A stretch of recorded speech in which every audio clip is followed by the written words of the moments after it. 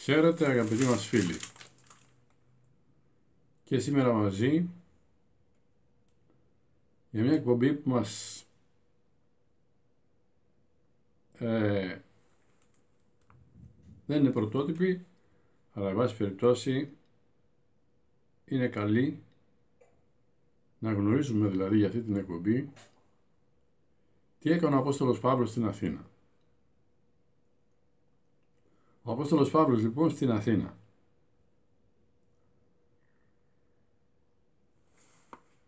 Ο Απόστολος Παύλος είχε πάει στη Θεσσαλονίκη. Για κάποιους λόγους όμως βρέθηκε στην Αθήνα περιμένοντας κάποιους από τους συναδέλφους τους, τους συμμαχητές στον αγώνα αυτό που είχε αναλάβει.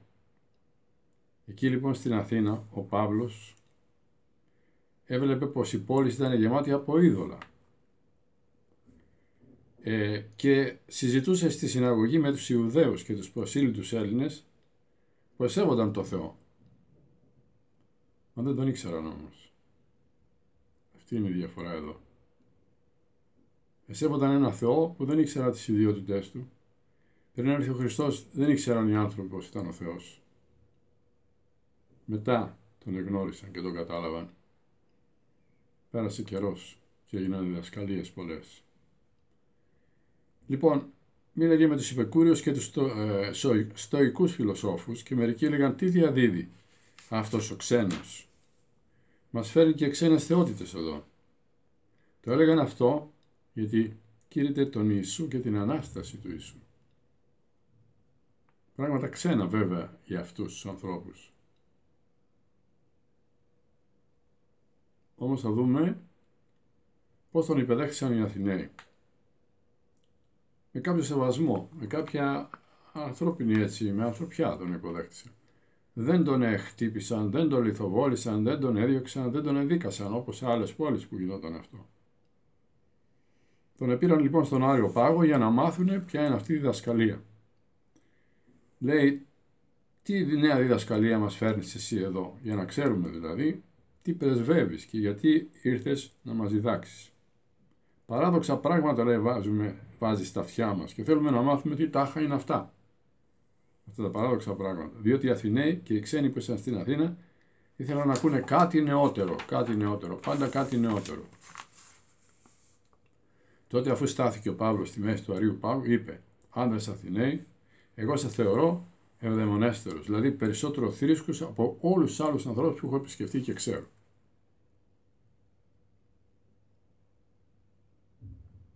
Όντως. Και ακόμα λένε ότι οι Έλληνες είναι οι πιο θρησκευόμενοι της Ευρώπης. Μαζί με τους Ρώσους είναι οι πιο θρησκευόμενοι της Ευρώπης. Γιατί λέει άνδρες Αθηναίοι καθώς περνούσα τους δρόμους έβλεπα λέει τα, τα θυσιαστήριά σας και κάποιο είδα που ήταν στον άγνωστο Θεό αφιερωμένο. Στον άγνωστο Θεό. Σε ένα Θεό που δεν τον εξέρουμε. Λοιπόν, αυτόν το Θεό έρθα να σας κηρύξω εγώ τώρα. Ο Θεός ο οποίος έκανε τον κόσμο, αρχίζει η διδασκαλία του από εκεί, και όσα υπάρχουν σε Αυτόν, Αυτός υπάρχει απόλυτος Κύριος του ουρανού και της γης και δεν κατοικεί σε ναούς, που σε έφτιαξαν χέρια ανθρώπων, ούτε υπηρετείται από χέρια ανθρώπων σαν να έχει ανάγκη από κάτι. Αυτός δίνει σε όλα και δίνει και πνοή και ποίησε από ένα αίμα κάθε έθνος ανθρώπων που κατοικούν στο πρόσωπο της γης και όρισε καιρούς και ορθυσίες που θα κατοικήσουν. Τους φύτεψε δε τον πόθο να τον αναζητούν τον Κύριο, τον Θεό και να κατορθώνουν να τον ψηλαφούν για να βρουν αν αυτός υπάρχει και αν βρίσκεται πολύ κοντά σε εμάς διότι κατά τη Θεία Παρουσία και αγαθότητα ζούμε και κινούμεθα και υπάρχουμε μέσα σε Αυτόν το Θεό. Βλέπετε πόσο ωραία το έφερε ο Παύλος αυτό, ώστε να τους πει ότι είμαστε μέσα στο Θεό. Όντα που κινούνται μέσα στην ενέργεια του Θεού, λέει στο Άγιο Πνεύμα. Ε. Όπως και μερικοί ποιητές σας έχουν πει. Από αυτή τη Θεία Αγαθότητα εμείς ζούμε και κινούμεθα και υπάρχουμε. Διότι ήμαθα γένος δικό του. Εφόσον όλοι είμαστε γένος του Θεού, θα πρέπει να μην νομίζουμε ότι η θεότητα είναι ίδιο με χρυσό και άργυρο και μάρμαρο, χαραγμένα με τέχνη, σύμφωνα με τις επινοήσεις του ανθρώπου. Κατηγόρησε δηλαδή τα αγάλματα που έβλεπε ότι είχαν στα σπίτια τους οι άνθρωποι και σε αυτά έδιναν μεγάλη σημασία και προσοχή ή προσεύχονταν ακόμα. Τώρα λοιπόν ο Θεός παραγγέλει σε όλους τους ανθρώπους πανταχού της γης να μετανοήσουν, να αλλάξουν μυαλό, διότι όρισε κάποια μέρα που θα κρίνει την οικουμένη με δικαιοσύνη διαμέσου ανδρός, τον οποίον εκείνος όρισε ως κριτής με κύρος και πίστη και έδωσε σε όλους αδιαφιλονίκητη, αδιαφιλονίκητη απόδειξη τον οποίον αυτόν ανέστησε από τους νεκρούς.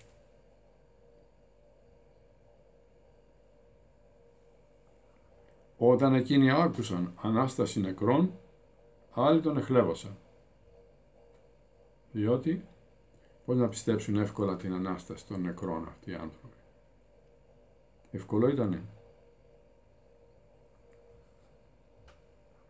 Άλλοι όμως του είπαν ευγενικά θα σε ακούσουμε και πάλι για το ζήτημα αυτό. Να μας ξαναμιλήσεις για αυτό το ζήτημα. Να δούμε τι έχεις να μας πεις για την Ανάσταση αυτή που λες τώρα. Μια συγκατάβαση εδώ. Έτσι, αφού είδε αυτά ο Παύλος αναχώρησε από τον Άριο Πάγο, από εκείνο το λόφο που είναι απέναντι από την Ακρόπολη και λέγεται Άριος Πάγος, και τον ακολούθησαν μερικοί, οι οποίοι προσκολήθηκαν σε αυτό και ακολουθούσαν με εμπιστοσύνη και πίστη στο κήρυγμά του. Κάποιοι πίστεψαν δηλαδή και εδώ.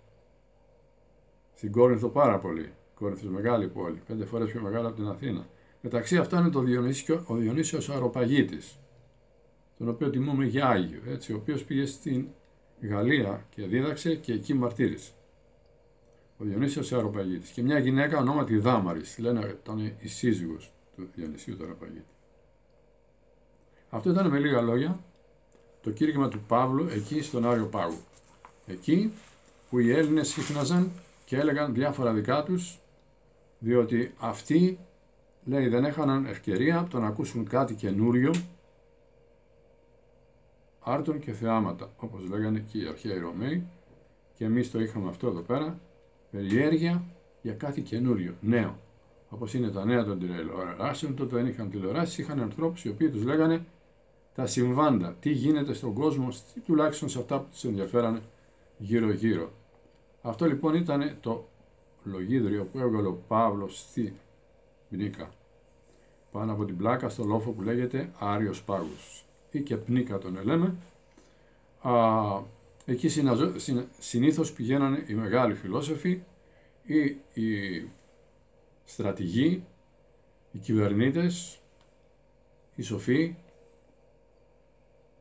και βγάζανε λόγους στους ανθρώπους οι οποίοι τους άκουγαν. Ήταν ελεύθερο να πάει ο καθένας, αλλά βέβαια στον άλλο πάγο ήταν επίσημο το βήμα. Στην αγορά μπορούσε να μιλήσει οποιοδήποτε. Έλεγε: Σας παρακαλώ, θέλω να σας μιλήσω. Μαζευόντουσαν γύρω του και τον άκουγαν. Όμως στον άλλο πάγο πήγαιναν οι επίσημοι άνθρωποι. Αυτοί που ήταν κάτι μέσα στην κοινωνία και από εκεί έβγαζαν λόγο για να πείσουν τους ανθρώπους για κάτι το σοβαρό, κάποια πολιτική, κάποια υπεράσπιση της πόλης όπως έκαναν οι, οι, οι κήρυκες, έτσι, μεταξύ των οποίων α, υπήρξε και ο Δημοσθένης, κήρυξ των α, Αθηναίων, ο οποίος αντιμάχεται τότε το Φίλιππο, που ήθελε να κάνουν, λέει, συνθήκη φιλίας ο Φίλιππος και να έρθει εδώ πέρα, λέει, σαν φίλος. Δεν σε θέλουμε ούτε σαν φίλο ούτε σαν εχθρό, γιατί ξέρουν ότι ο Φίλιππος ήταν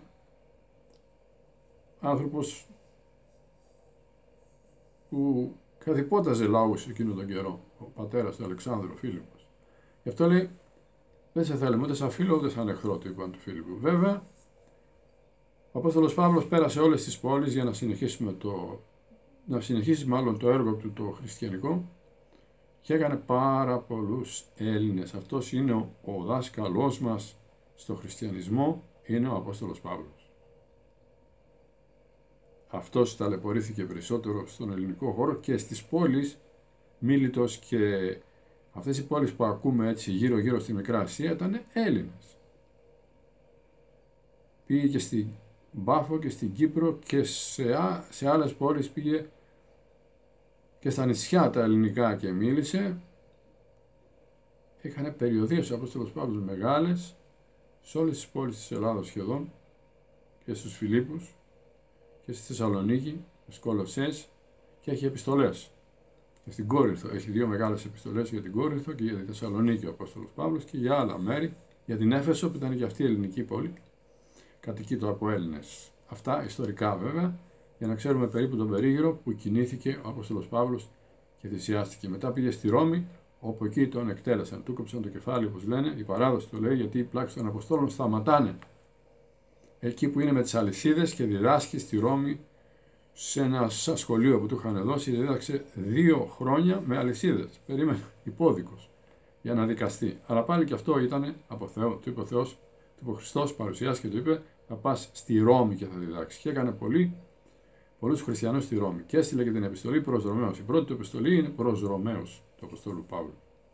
Αυτά τα λίγα είχαμε για σήμερα. Να είστε καλά μέχρι την επόμενη μας φορά που θα ξανασυζητήσουμε και θα πούμε πάλι θέματα που αφορούν την ιστορία μας, την πατρίδα μας, τον χριστιανισμό και όλα αυτά τα καλά πράγματα τα οποία πρέπει να διδάσκονται και στα σχολεία σας παρακαλώ οι δάσκαλοι να διδάσκετε αυτά τα πράγματα αυτά που λέει ο κοσμός ο εντολός του Χριστού τα γράμματα γιατί τώρα διδασκόμαστε μόνο φιλοσοφία, φιλοσοφία και θετικές επιστήμες, χημεία, φυσική κλπ. κλπ.